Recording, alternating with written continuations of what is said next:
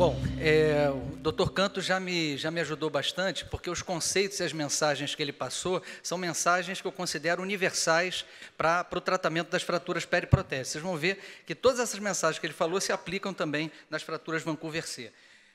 Então, dando prosseguimento a essa mesa, né, eu, vou me, eu vou falar sobre isso, tentar atualizá-los um pouquinho. Eu represento o Hospital de Força Aérea do Galeão, e os colegas listados em vermelho fazem parte do grupo de trauma e não tenho nenhum conflito de interesses relacionado a essa apresentação. Para começar essa apresentação, eu botei uma pergunta, uma pergunta retórica, na verdade não precisa se responder, mas para vocês pensarem mesmo.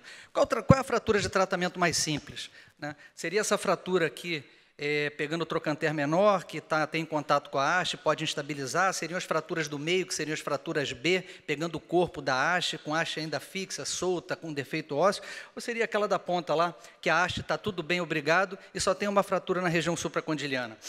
É, a literatura mostra que as pessoas tendem a achar a fratura C é, mais fácil de tratamento. E para isso eu fiz até uma enquete no meu serviço e perguntei lá para os 19 staffs do corpo clínico qual era a fratura que eles achavam, a, a fratura mais simples para se tratar, e veio realmente isso. A ideia é exatamente essa: 80% acha que a fratura mais fácil é a fratura C, porque a princípio não tem envolvimento da estabilidade da prótese, não tem envolvimento da haste. Né? Mas não é bem assim, né? não é bem assim. É um problema, a fratura C tem sido um problema. E a gente vai ver qual é o tamanho do problema. Será que é um problema porque elas são muito frequentes? Será que é esse o problema? Aí, fazendo uma revisão é, da literatura, esse artigo do pessoal do grupo de Boston, né, é, que eles publicaram numa revista de geriatria em 2012, eles mostraram aqui, ó, a fratura Vancouver C corresponde só a 10% das fraturas periprotéticas. Então, quer dizer, não é bem uma questão de incidência. Né? Uma outra série né, do, do grupo de, do Canadá, de Vancouver, do Paul Bollet, né, em que eles publicaram em 2014. Foi um estudo retrospectivo em que eles avaliaram todas as fraturas periprotéticas nesse período de janeiro de 2004 a junho de 2006, cinco anos e meio. Eles viram 45, 56 fraturas periprotéticas, a maioria mulher. E dessa série deles, que não é muito diferente das séries da literatura, só quatro eram fraturas tipo C, ou seja, 9% das fraturas. Então a questão não é uma, uma fratura relevante por conta da incidência dela. Né? Então cabe essa pergunta. A pergunta que vocês vão me fazer é exatamente essa essa. Ok, se elas parecem simples e se elas não são tão frequentes assim, por que, que eu vou ficar os próximos oito minutos falando sobre essa fratura tipo C? Porque, na verdade, gente, é, pode parecer simples, mas não é tão simples assim. Mesmo coisas que parecem simples podem ser complexas. E eu digo que a fratura tipo C é uma dessas coisas que se aplicariam esse conceito aí. Nesse mesmo trabalho lá do Canadá, né, o pessoal estudou aqueles 56 casos e eles observaram que das fraturas do tipo C, das quatro fraturas, duas não consolidaram, 50% de não consolidação e 50% de revisão. A fratura do trochanter maior foram sete, três não consolidaram. Mas não é bem um problema, porque muitas vezes a gente sabe que o trochanter maior não consolidado, eventualmente, não precisa de revisão. O paciente pode ficar clinicamente bem. E as fraturas B1, que foram as fraturas que o doutor Canto falou agora, de 11, duas não consolidaram, 20, cerca de 20%. Então a gente percebe que a fratura C não é tão simples e não deve ser subestimada como normalmente é subestimada. E a conclusão dos autores é exatamente essa. Né? A, a, o tipo de fratura que parecia que necessitaria de mais revisão na série deles eram as fraturas B1 e C. Né? É, e parece ser uma fratura simples. Né? Essa outra série, uma série publicada no JBJS de 2006 americano, do, do, do grupo do Henry Machal, lá do grupo lá da, da, Suécia, em que eles têm bastante publicação, porque eles usam o registro sueco de artroplastia. Então, eles avaliaram os casos de fratura periprotéticas 99 e 2000, 321 fraturas, é uma das maiores séries de fraturas periprotéticas que eu encontrei na literatura. 88% dessas fraturas eram Vancouver B, como era de esperar, e só 10% Vancouver C. Então, você vê que a incidência em todas as as, as séries não foge muito disso, 10, 8, 12%. Então não é questão de incidência. Né? E o que, que eles mostraram nesse trabalho? Que a taxa de cirurgia de revisão maior foi nas fraturas tipo B1.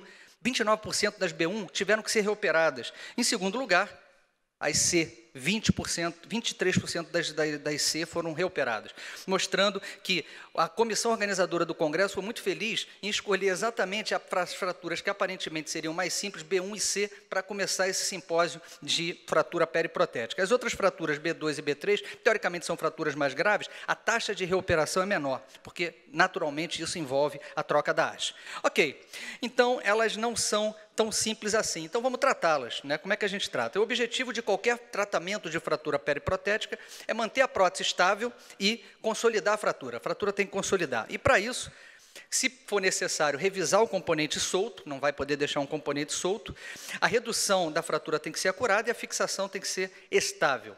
Né? Na fratura tipo C, é um pouco mais simples esse aspecto, porque, de uma maneira geral, ela não envolve a prótese. A prótese está estável. Então, salvo raríssimas exceções, a gente tem que fazer uma troteria que trocar um implante né, por soltura. Né? Então, a gente tem que, se, tem que se preocupar com a consolidação da fratura.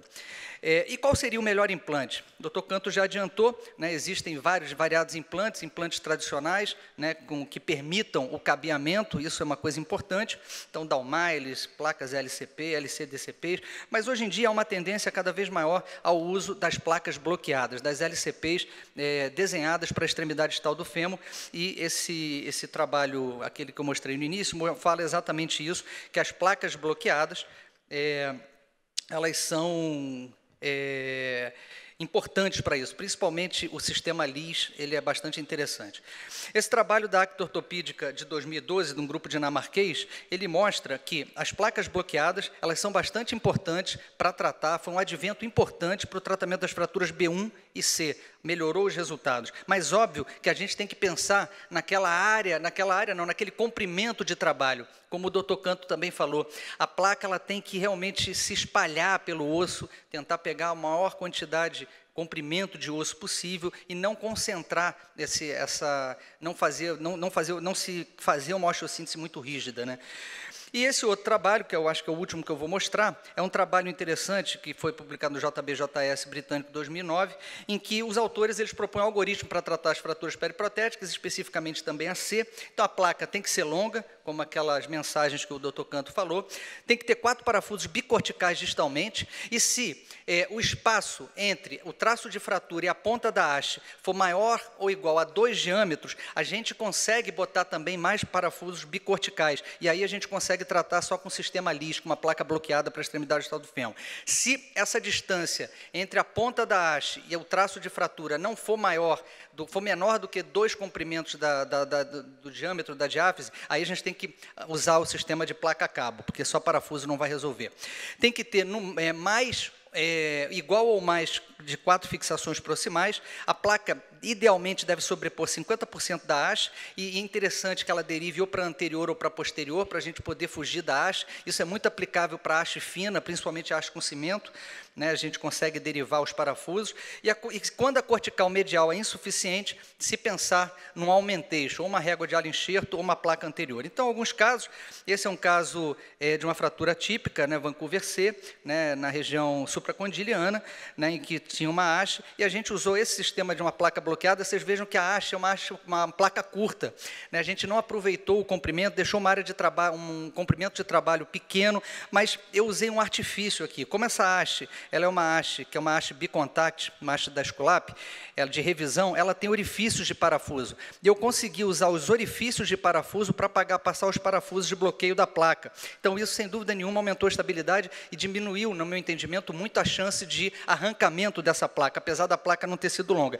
E realmente o meu pensamento estava certo, com sete meses a fratura consolidada. Desculpe, vou voltar aqui só para vocês verem a consolidação. Então, com sete meses, a fratura consolidada. Esse é o último caso, vou pular para o três, porque senão a gente não vai esgotar o tempo. É uma, uma, uma fratura pós-operatória de uma paciente que tinha feito, eu tinha feito uma artroplastia total do quadril processo anterior, minimamente invasivo, dois anos antes. Ela estava bem, ela estava sobrecarregando muito, ela estava andando muito, é uma paciente muito obesa, uma obesa grave. ela fez esse estresse, um caso parecido com o que foi mostrado anteriormente, na ponta da haste, mas ela tinha um problema é, adicional né? Então, a a gente interpretou que a haste estava boa, mas ela tinha um problema adicional. Ela é portadora de cirrose hepática, e estava com trombose de veia porta, com discrasia sanguínea importante e o MC dela de 42. Num primeiro momento, quer dizer, até do ponto de vista clínico, isso não foi liberado para se fazer o procedimento, né, se sugeriu que ela fizesse repouso, né, sem carga, e, mas aí aconteceu o inevitável, sete dias depois a fratura desviou, e aí a gente teve que botar a paciente na sala, uma paciente clinicamente muito, muito complicada, muito mal compensada clinicamente, e a gente optou por fazer é, a menor cirurgia possível, que era manter aquela placa e tentar sobrepor uma placa, né, que a gente usou aqui o TSP, que é o Trochanter Stabilization Plate, né, por sobre a outra placa, a gente é, sobrepôs alguns parafusos, fez amarrações, ficou uma, uma um, ferro para tudo que é lado, mas felizmente a gente botou ainda uma placa anterior para fazer um augmentation, como vocês estão vendo aqui, e com nove a fratura demorou para consolidar, eu tive que corrigir diversos distúrbios metabólicos da paciente, e com nove meses, felizmente, a fratura consolidou. Então, em resumo, a fratura Vancouver C parece simples, mas não é. Não encarem ela, não subestimem a fratura Vancouver C. Na literatura, é, junto com a B1, a que tem maior, maiores taxas de revisão.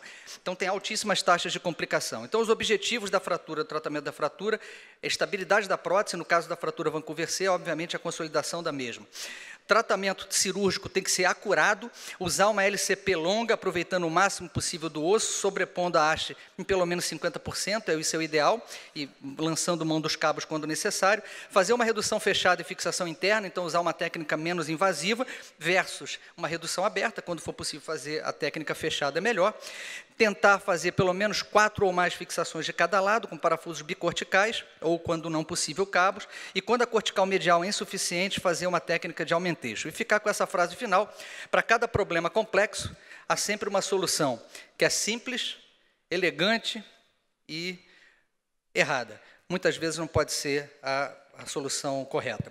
Isso é a frase do, do Henry Menck, que é um célebre jornalista norte-americano. Muito obrigado. Obrigado, Marcos.